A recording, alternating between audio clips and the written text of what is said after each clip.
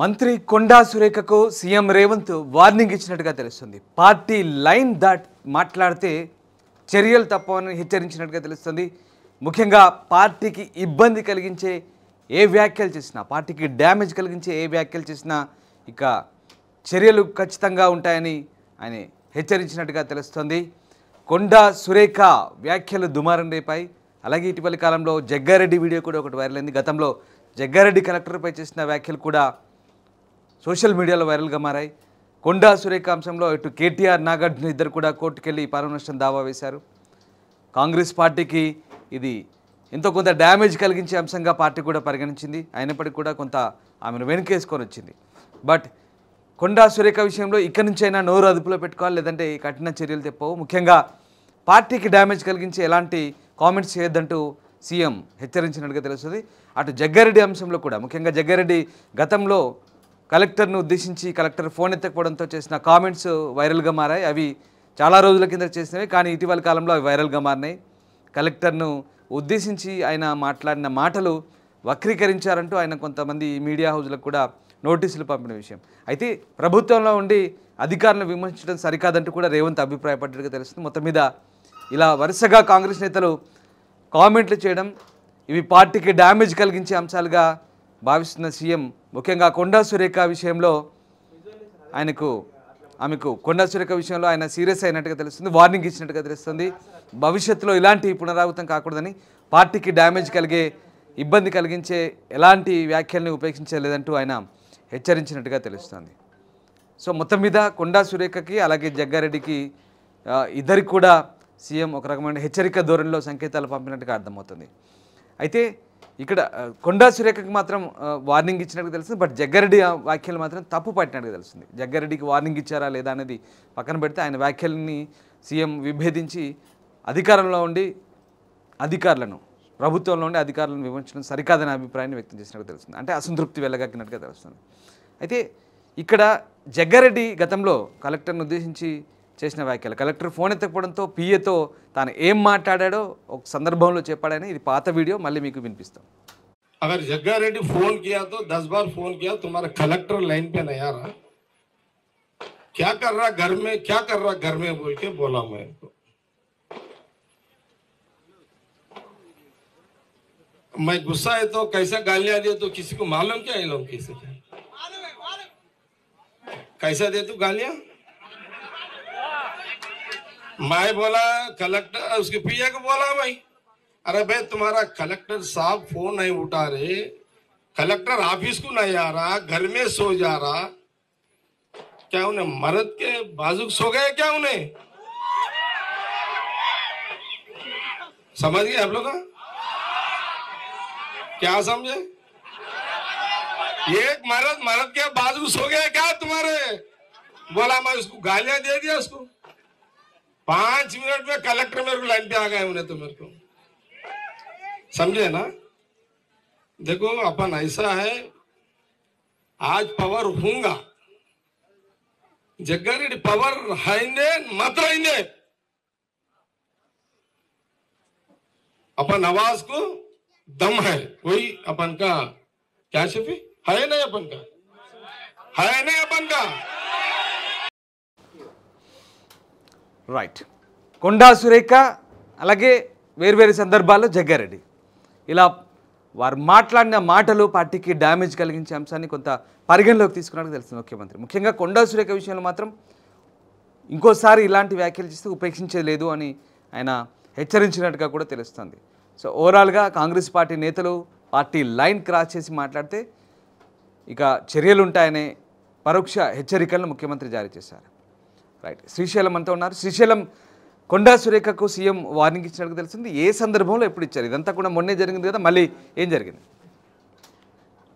Exactly ఏదైతే కాంగ్రెస్ పార్టీకి సంబంధించిన కొంతమంది నేతలు వాళ్ళు పర్సనల్ గానా లేకపోతే పార్టీ నేపథ్యంలో వాళ్ళు చేసేటువంటి వ్యాఖ్యలు వాళ్ళు మాట్లాడే మాటలు అటు సోషల్ మీడియాలో ఇటు మీడియాలో ఇక కాంగ్రెస్ పార్టీలో ఇక తెగ వైరల్ అవుతున్నటువంటి పరిస్థితి ఈ నేపథ్యంలో పార్టీ లో నడుస్తున్నటువంటి ఎవరైతే మంత్రులు కావచ్చు ఎమ్మెల్యేలు కావచ్చు ఇతర నేతలంతా కూడా పార్టీ లైన్లో మాట్లాడుతున్నామంటే అనేకమైనటువంటి అనుచిత వ్యాఖ్యలు చేయడం ఒకసారిగా పార్టీకి మైనస్ అవుతున్నటువంటి నేపథ్యంలోనే రీసెంట్గా ఆ బీసీ కులగణలకు సంబంధించి ఏదైతే గాంధీ భవన్లో పిసిసి అధ్యక్షుడు మహేష్ కుమార్ గారి మహేష్ కుమార్ గౌడ్ అధ్యక్షతన ఆ ముఖ్యమంత్రి రేవంత్ ప్రముఖ ఆ యొక్క ఆ, కులగణకు సంబంధించిన సమీక్షలో హాజరయ్యారు. ఆయన ముఖ్య అతిథి హాజరయ్యారు హాజరైనటువంటి ఆ సమావేశంలో కొంత ఇంటర్నల్గా అయితే అతను అక్కడికి ఎమ్మెల్యేలు కావచ్చు బీసీసీ ప్రెసిడెంట్లు చైర్మన్లు వీళ్ళందరూ సందర్భం ఈ నేపథ్యంలోనే ముఖ్యమంత్రి రేవంత్ పిఎస్ అధ్యక్షుడు మహేష్ కుమార్ గారు స్పష్టంగా పార్టీ నేతలకు ఒక రకమైనటువంటి స్వీట్ వార్నింగ్ అని చెప్పుకోవాలి. ఎట్టి పరిస్థితుల్లో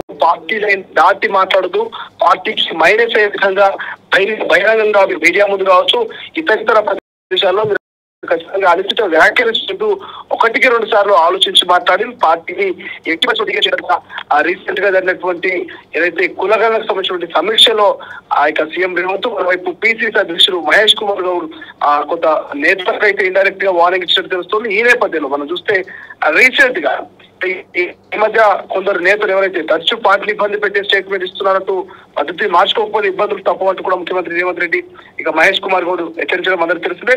పార్టీని ఇబ్బంది పెట్టే వ్యాఖ్యలు చేస్తున్నారు. నాయకులపై పలువురు కాంగ్రెస్ నేతలు అయ్యారు పార్టీ లైన్ దాటి మాట్లాడితే ఉరుకునేది లేనట్టు PCC chief CM strong warning ఇచ్చినట్టు తెలుస్తోంది. కాంగ్రెస్ పార్టీ నేతలకు ముఖ్యమంత్రి రేవంత్ రెడ్డి సీరియస్ వార్నింగ్ అని చెప్పొచ్చు. ఎందుకంటే పార్టీ లైన్ దాటి మాట్లాడితే చర్యలు తప్పవని హెచ్చరించారు. కాంగ్రెస్ పార్టీకి ఇబ్బంది కలిగించే వ్యాఖ్యలు చేస్తే ఊరుకునేది లేదంటూ ఇక పిసిసి ముఖ్య నేతలు నిర్ణయించారు. ఈ మధ్య కొందరు నేతలు తరచూ పార్టీని ఇబ్బంది పెట్టే స్టేట్మెంట్స్ ఇస్తున్నారు పద్ధతి మార్చుకోకపోతే ఇబ్బందులు తప్పవంటూ కూడా ముఖ్యమంత్రి రేవంత్ రెడ్డి పిసిసి చీఫ్ మహేష్ కుమార్ స్పష్టం చేశారు. పార్టీని ఇబ్బంది పెట్టే వ్యాఖ్యలు చేస్తున్న నాయకులపై పలువురు కాంగ్రెస్ నేతలు సీరియస్ అయ్యారు.